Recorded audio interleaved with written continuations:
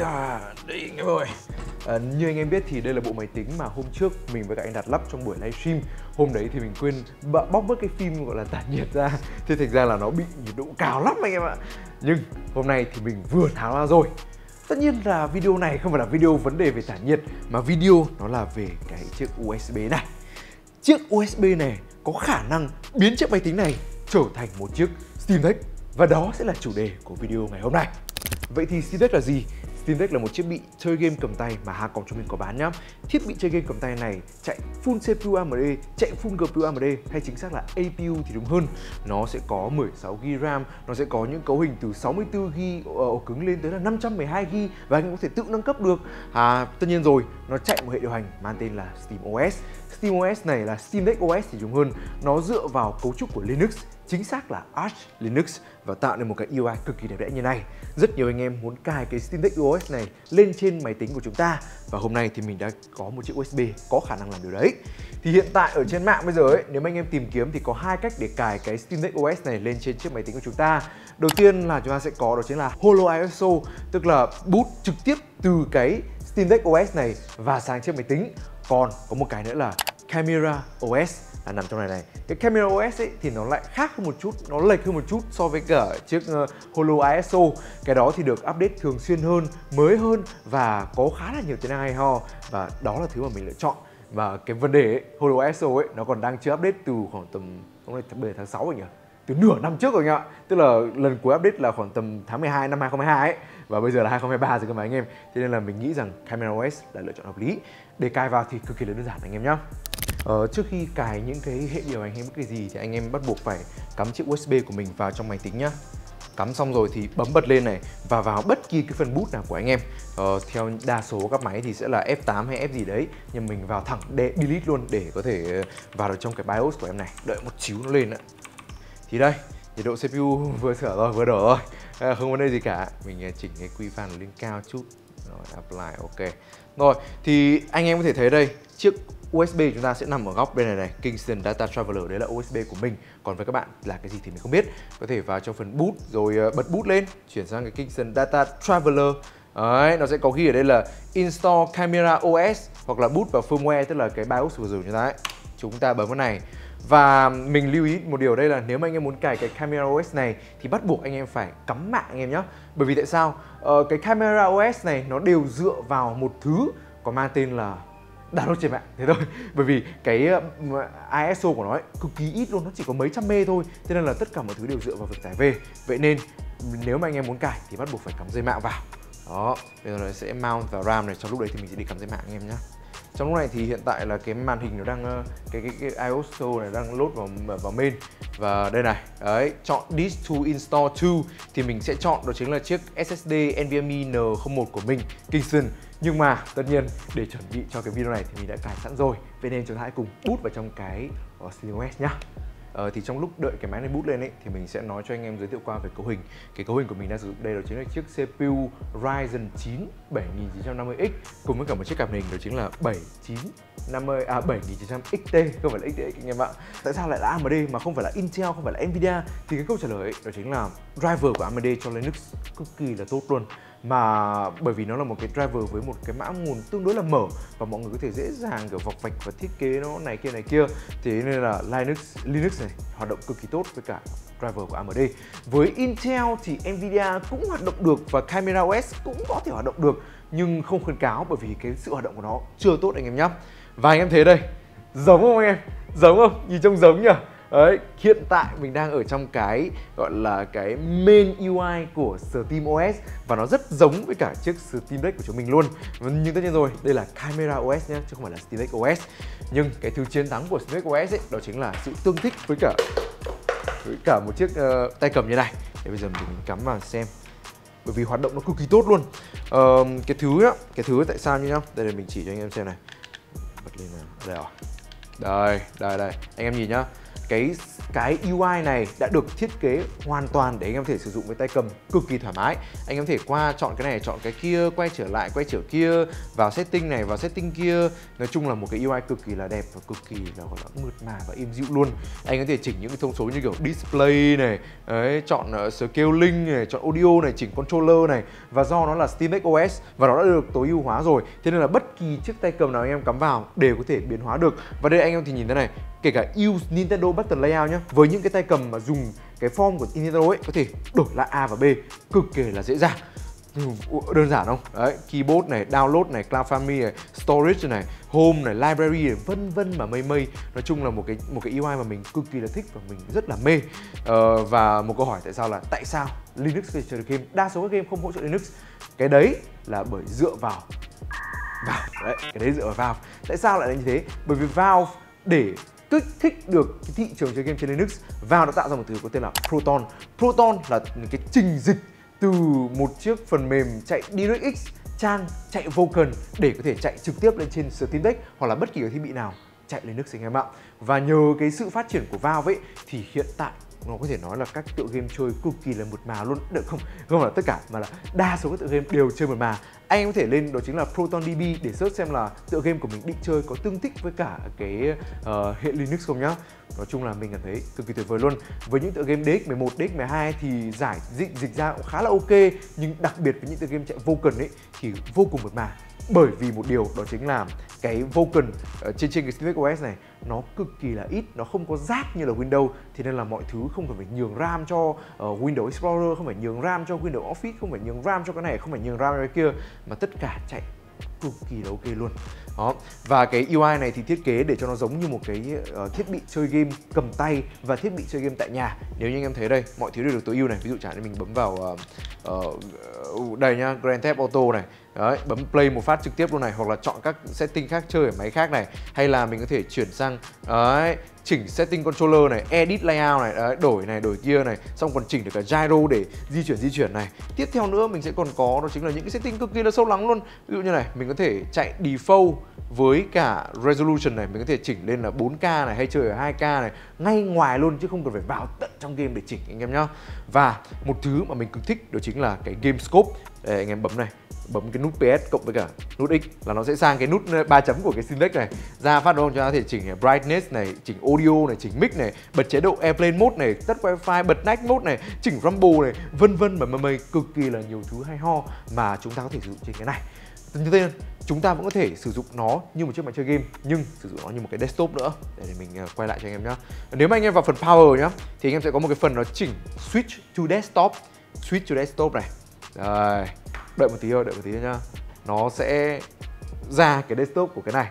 Bởi vì đây đây là Camera OS nó vẫn dựa vào Linux. Thì trên cái um, Steam Deck này thì nó đều dựa vào Arch Linux hết. Cả Camera OS và Steam Deck OS đều dựa trên Arch Linux. Nhưng mà uh, em này thì dùng đó chính là XFCE còn chiếc này thì dùng là GNOME một cái UI nhìn trông đẹp hơn rất là nhiều. Anh em nhìn thấy không? Nhìn trông sành điệu đúng không? Đấy và anh em vẫn có thể lướt web chơi game làm việc bất kỳ gì trên này tất nhiên là những cái việc như kiểu là làm Adobe hay là uh, Premiere Pro Photoshop nó không được tốt cho lắm. Chẳng chạy như DaVinci uh, DaVinci Resolve thì ok hơn. Nhưng nó là một cái chỗ để anh có thể sử dụng như một chiếc máy tính bình thường. Vẫn lướt web được vẫn có thể xem phim được vẫn có thể xem youtube được vẫn có thể vào zalo zalo được đầy đủ luôn. Nó chỉ thiếu những cái app dành riêng cho windows mà thôi đó nếu mà anh em muốn dùng thì vẫn có thể dùng thông qua một cái dịch chuyển đổi. Nhưng mà cái dịch đấy thì nó không được chuẩn cho lắm và nó không được tốt cho lắm. Thế nên là chỉ ưu tiên dành cho các tựa game. Nhưng cái điểm yếu của này là gì? Điểm yếu của nó đó chính là linux. Đấy, mình cũng vừa kể cho anh em rồi đấy. Nó không tương thích với cả những cái tựa game Những cái thứ mà dành cho Windows. Nó không tốt với cả những tựa game mà yêu cầu uh, Những cái gọi là anti-cheat. Chẳng hạn như là anh em chơi Warzone Không thể nào chơi trên này. Anh em chơi uh, uh, Theo như mình nhớ hình như là game uh, Đâu nhỉ? Uh, Tựa game mang tên là Black Siege. Đâu rồi? Đúng rồi, cũng không chơi được. Đấy, Rainbow Six Siege cũng không chơi được. Thế nên là chúng ta phải lựa chọn khá là nhiều. Nhưng lý do tại sao mà mình mình cảm thấy thích cái này ấy, bởi vì nó là một cái UI dành riêng cho chơi game. Anh em phải hiểu rằng là bây giờ cái cái việc mà anh em bấm máy lên phát nhá rồi anh em hiện ra một cái UI để chơi game riêng nó thích hơn rất là nhiều. Và uh, kiểu thay vì là kiểu anh em bật Windows rồi bật Steam rồi bật này bật kia mình biết là Steam nó cũng có big ờ, gọi là big picture mode nó cũng giống giống như này nhưng mà không thể nào mà mượt mà và êm dịu được bằng việc bút trực tiếp vào trong Steam anh như này. Nhưng bây giờ thì hãy cùng mình chơi tí game xem như nào nhá. Thì uh, hiện tại mình đang vào trong này đúng không? Mình đang tải qua mình mới tải có mỗi GTA thôi mà uh, mình mới tải GTA thôi. Bây giờ thì sẽ vào GTA ừ, đây và GTA, GTA thường nhá. Ask me each time này vào GTA thường để xem như nào thì cái thứ mà khiến cho cái này hay nữa đó chính là cái cái setting từng game của anh em. Đây anh em bấm lại vào này đây anh em xuống cái battery này. Ở trên này nó có cái setting này thôi nhưng mà ở trên này thì hay hơn. Anh có thể bật overlay performance level tức là một cái um, MSI Afterburner ờ, uh, Retastic uh, River Tuner các kiểu riêng cho anh em luôn. Và anh em có thể limit TDP của anh em nhé tức là giới hạn cái mức điện mà chiếc máy đang chạy để uh, có thể khiến cho nó tiết kiệm điện hơn kiểu kiểu như vậy ấy. Uh, và đây. Đấy. đợi tí hiện lên cho anh em xem phát. Đây anh em có thể nhìn thấy luôn này. Đấy nó sẽ hiện ra cho anh em các kiểu các kiểu các thông số đây luôn. Và nó sẽ hiện ra nào thì ờ, uh, FPS nào nào thì uh, uh, frame time này nào thì vân vân và mây mây. Và anh em có thể để rất là nhỏ nhẹ ở bên trên này này. Đợi thì nó lốt lại đã. Đợi thì đấy anh nhìn thấy trên này đúng không? Hiện tại thì nó chưa tương thích hết với tất cả, tất cả các loại GPU thế nên là hiện tại nó đang ghi kìa. Anh em thấy không? GPU ghi bằng 0% nó cháo gì cả. CPU thì đang ghi là âm 10 âm âm âm 10 âm 6 W RAM thì đang tốn có mấy ghi thôi. Uh, và chơi game thì đấy nó sẽ hiện rõ cho anh em là đang dùng cái layout nào layout gì có thể nghịch nghịch lung tinh trong này. Ờ, ở đây sẽ có cả frame rate limit này chúng ta có allow tearing, half rate shading này. Nhưng mà những cái thứ này thì thường dành cho những cái thiết bị tay cầm khác. Ví dụ như anh em cài cái Steam Deck OS này lên trên Ainio này hay là Aozake uh, Azu với cả nào thì Aino này. Các thứ kiểu vào những cái máy như thế thì mới cần cái mấy cái setting như này để tiết kiệm pin. Bởi vì chúng ta là một chiếc máy tính desktop mà chứ không phải là một chiếc máy tính laptop hay là một chiếc gì đâu một chiếc là mini pc đâu mà cần phải tiết kiệm điện tiết kiệm pin như này đâu. Cắm máy mà à, đó nói chung mọi thứ cũng đơn giản câu chuyện nó dễ dàng. Đấy, và liên hệ mọi thứ thì tuyệt vời luôn. Steam Deck này, OS này, camera OS này. Đấy trong này sẽ có đây xem qua cấu hình này. Camera OS nha chạy để điều hành camera này. Ờ, uh, Authentic on CPU name là 5950X này uh, đang chạy ở 5.79 5.89 uh, nhầm uh, 5.879881 16 x 3 hai luồng này RAM là 30 GB bởi vì là đang mất cho 2 GB cho card onboard rồi. Card rời thì đang là dùng ờ, 7900 XT à, rất chất. Ờ, nếu mà anh em nhìn một chút vào mấy cái dòng chữ ý, thì anh em sẽ nhận thấy rằng là nó sẽ có hơn một chút artifact. Thì lý do tại sao? Lý do nó nằm ở cái việc đó chính là cái máy này này nó đang có FSR Ờ, tức là SteamOS mặc định nó chạy kèm với cái FSR luôn anh em ạ. Tức là chạy kèm với cái FSR luôn. Ờ, nó sẽ là FSR một thôi nhưng mà lại sao nó lại có FSR để cho những chiếc máy như Steam Deck này với những tựa game mà nó không thể chạy được mượt nhất ở ví dụ như 60 fps hay là chạy ổn định ở 45 fps thì nó sẽ cố định cho chúng ta uh, bật FSR lên để chúng ta có thể tăng tăng cái mức FPS lên. Đấy, rất là dễ. Thì ờ, đấy là lời khuyên tới cho của mình tới cho các bạn là nếu mà các bạn đang muốn mua một chiếc máy như này muốn cài như này ấy, thì nên là với những cái máy kiểu nhỏ nhỏ xinh xinh sáng sáng đáng yêu. Những cái máy như kiểu CPU là CPU 5700G hay là 5600G hay kiểu kiểu như thế để chạy game có hỗ trợ FSR và tất nhiên rồi nếu mà anh em gọi là nghịch nghịch một chút ý, thì anh em cũng có thể làm một việc đó chính là anh em còn cài được cả liên minh hiện tại cơ. Bởi vì mình từng chơi liên minh hiện tại trên chiếc Steam rồi ở trong Linux rồi. Bình thường luôn chạy rất ok luôn. Và khi mà mình không đạt được 60 fps hay là 100 fps ấy, mình bật FSR lên thế là nó lại mượt nhòa như bình thường. Rất là hay. Thế bây giờ thì đợi tí rồi reset lại game nữa xong rồi à, mình à, vào quả phát. Bởi vì nếu mà anh em lượn xuống như này đây FSR này FSR sharpness này thì lựa chọn đấy thôi. Anh em có thể uh, nói chung là cái lý do tại sao mà mình cảm thấy nó nó, nó, nó thích bởi vì là nó có những cái setting riêng dành cho các gamer chứ nó là một cái hiệu điều hành riêng để đẻ ra cho gamer và bạn có thể làm điều khác.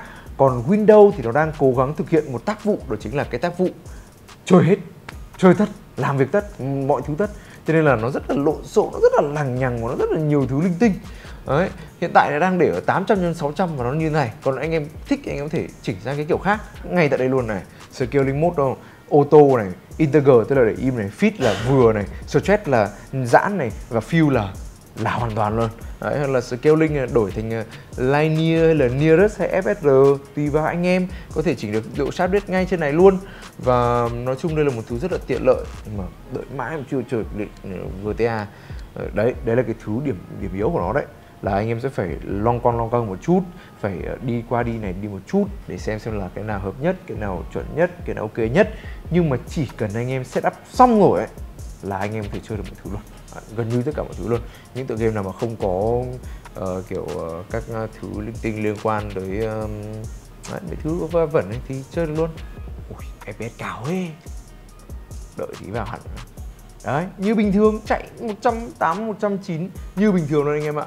Nói chung là cái hệ điều hành này nó đã cố gắng tối ưu nhất có thể để có thể dịch game từ DirectX sang Vulkan sang game scope scope này để mình bật full cho anh em cái cái cái cái cái, cái, cái mọi thứ như overlay này. Đấy, anh em thấy nó đổi sang game scope kìa.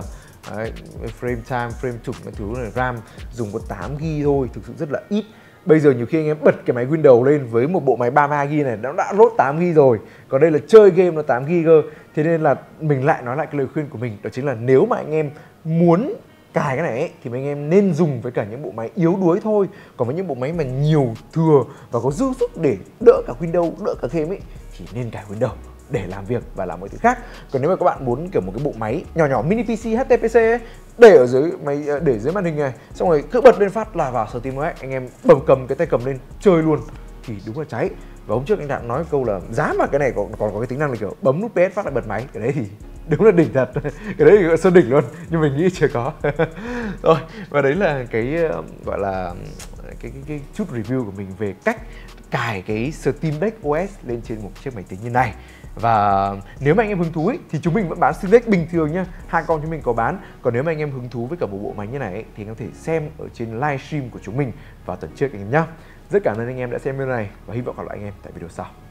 À chết từ từ từ từ anh em ơi, từ từ. Trước khi kết thúc cái video ấy thì mình xin phép được uh, gọi là xin lỗi anh em một chút. Bởi vì cái video này nó không chi tiết kỹ về cái vấn đề là uh, ví dụ như hiệu năng như nào, hiệu năng sao So sánh cái này với cái này như nào. Bởi vì mình cảm thấy rằng là trong lúc mà mình đã test ấy Mình nhận thấy rằng là cái sự chênh lệch giữa hiệu năng của một bộ máy quá khỏe như thế Nó không nhiều bởi vì chúng ta đang có dư giả mọi thứ rồi để có thể đẩy hiệu năng lên rồi. Cho nên là việc test một chiếc uh, so sánh hiệu năng giữa em này với em này một uh, hội hiệu hành này sang hệ điều hành khác trên một con máy siêu xịn như thế thì không đáng cho lắm. Sắp tới thì mình sẽ làm một cái video liên quan tới một chủ đề đó chính là một chiếc máy tính chỉ có 10 triệu thôi. Nó sẽ lợi ích như nào khi anh em cài SteamOS anh em hãy đợi video đó nhá. Rồi thì cảm ơn anh em đã xem video này. Nếu mà anh em hứng thú với cả Steam Deck hay bộ máy mà mình vừa nói thì có thể tham khảo ở Hacom. Tạm biệt anh em hy vọng gặp anh em tại video khác nhé